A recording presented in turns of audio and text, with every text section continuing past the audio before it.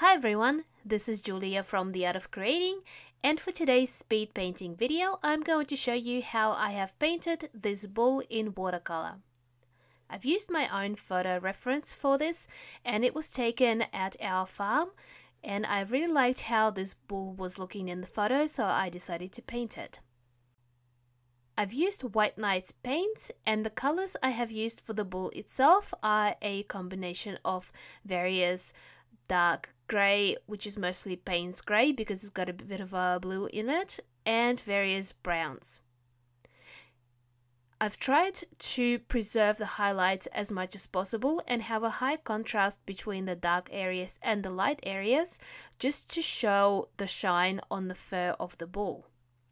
It has taken a considerable amount of time to work on the hair details because the fur on the nose and around the body goes in all sorts of different directions and there is so many folds on the chest of the bull and the neck so that it took a lot of time to try and observe exactly the details and try to replicate it in the painting.